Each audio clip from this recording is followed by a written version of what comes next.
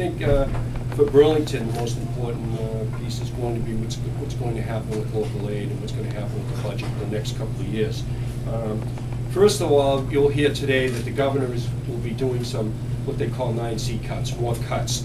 And looking at the uh, revenues for this year, uh, they're already down two hundred and twelve million dollars, and they project to be down about six hundred million dollars for the year. I think more importantly, though, is, is we're looking at about a two to three billion dollar structural deficit in our budgets for, for the, uh, for the, for the state. Uh, And the way that breaks down is you have, we have about a thirty-two billion dollar budget in the state. And the way that we get the revenues for that, it's about eighteen billion in our income or revenues by capital gains, income tax, and sales tax. Uh, Somewhere around eight billion dollars comes in from the federal government on Medicaid reimbursements, and then you have around four billion dollars for other revenues that come in.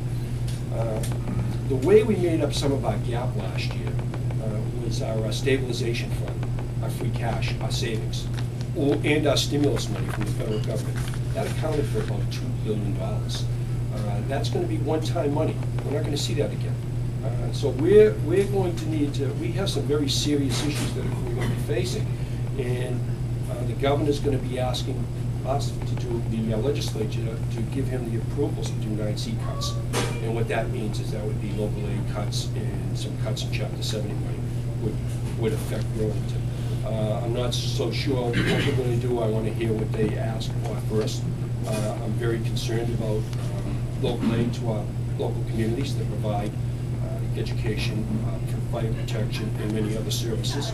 Uh, So we're, we're gonna have to take a real strong look at that. Um, The, uh, what Burlington, we had special bills that were done in uh, Burlington for them to do a fire station, put that out to bid for, uh, uh, to have a fire station built by a private company, and that, uh, that is, uh, that was done uh, in the House and done in the Senate. Um, We had the uh, stimulus, they were looking at phase two, um, and that was, uh, I believe that Mida Corporation finally had to get the agreement uh, to do that, some of that work up there, and all of the studies have done. So they're looking to do some expansions up off the Middlesex Turnpike, phase two of that uh, construction. Uh, A Couple of things that we've done so far, and actually, I I thought it was funny, Kevin, that you uh, started talking about the paper and ethics, uh, and then you introduced me.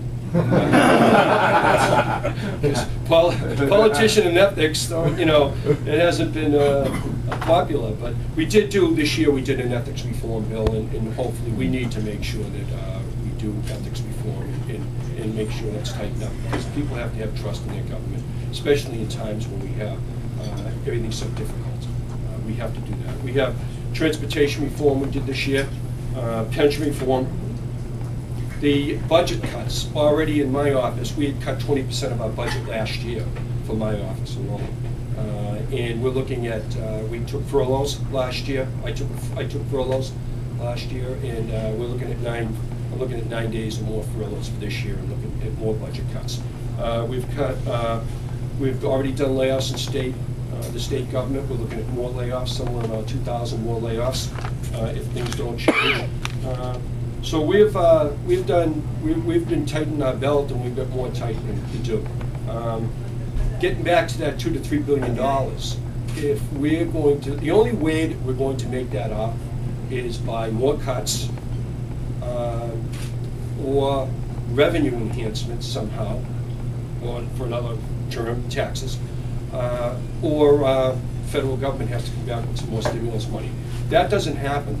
Uh, Local aid will be cut, chapter seventy money, education money will be cut, and you'll see cities and towns, uh, you know, hurting. Now, fortunately, Burlington is a great community, and I'm so happy to be able to represent the communities I represent, including Burlington.